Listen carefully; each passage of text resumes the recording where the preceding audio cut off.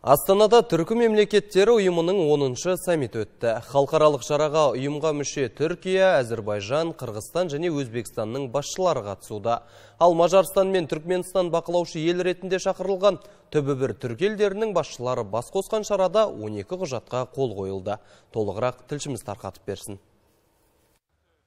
Түркі мемлекеттері ұйымы халықаралық сахнада күн санап беделі артып, экономикасы нығайып келеді оған дәлел мүше мемлекеттердің ішкі жалпы өнімі 1,4 триллион долларға жуықтаған.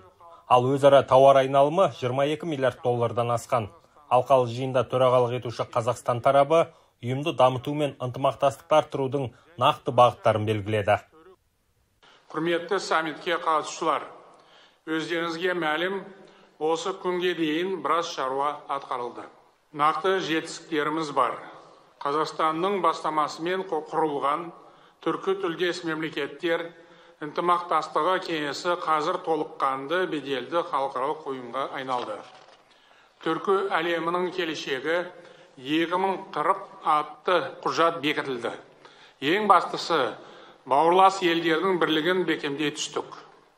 Ортақ құндылықтарымызды төрткүл дүниеге таныттық. Біз бабалар өсиетін орындап түркі елдерінің ынтымағын нығайтып келеміз. Ендігі мақсат өзара сенімге және бауырластыққа негізделген бірлігімізді сақтап өскелең ұрпаққа табыстау. Түркі әлемі жаһандық ықпалы бар елдермен тең дәрежеде қарым қатынас жасап отыр. Басқа мемлекеттер біздің ұйымның ұстанымдарына баса мән беретін болды. Сондықтан түркі халықтарының ықпалдастығын арттыра түсу бәрімізге ортақ міндет Ұйымға Қазақстанның төрағалығы түркі дәуірі, яғни түріктай мұранымен өтеді. Аясында салт дәстүр, біріздендіру, реформалар, ғылым, сенім, инвестиция, медиация және энергия мәселесіне басымдық берілмек. Қазақ президентінің айтуынша, айналамызда геосаяси жағдайлар күрделеніп тұрған шақта өзара сенімге селкеу түспеу шарт. Қажет болған жағдайда біз бір-бірімізге көмекке асығуымыз керек. Бұл ұйымның беделін арттырып, бірлігін бекемдей түседі. Қазір аумалы төкпелі заман болып отыр. Халықаралық ахуалда тұрақсыз. Осындай алмағайып кезеңде түркі жұртының бірлігін бекемдей түсу аса маңызды. Бұл ортақ қауіпсіздігіміздің сенімді кепілі. Қару жарақ және есірткі саудасына терроризм мен экстремизмге көші қонға қатысты сын қатерлер көбейді. Мұндай қауіптердің алдын алу үшін қауіпсіздік саласындағы ынтымақтастықты нығайтуымыз керек.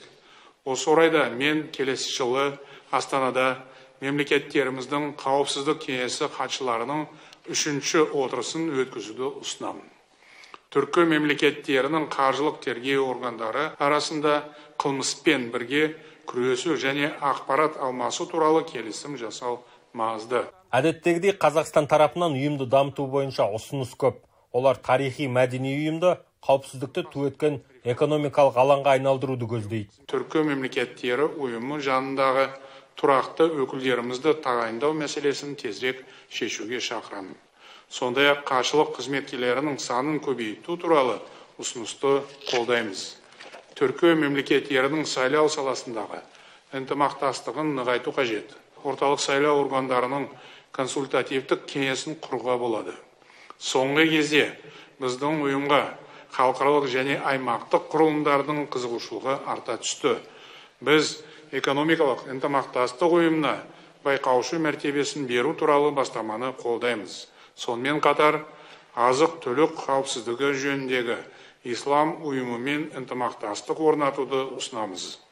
Саммит соңында ұйымға мүше мемлекет басшылары астана актісіне мерейтойлы саммиттің декларациясына қол қойды.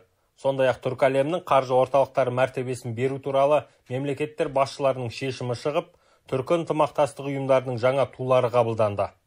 Түркі мемлекеттер ұйымының 2023-2027 жылдарға арналған көлік байланысы бағдарламасын іске асыру жөніндегі бірлескен шаралар жоспары қабылданды. Осыған дейін ұйым төрағасы болған өзбекстан президенті шавкат мирзиев та түркі әлемінің ең жоғары орденімен марапаттау туралы мемлекеттер басшыларының шешімі де жария болды. Президент баспасөз қызметінің көмегімен данияр болысбекұлы эльмира леспекқызы жетісу телеарнасы астана.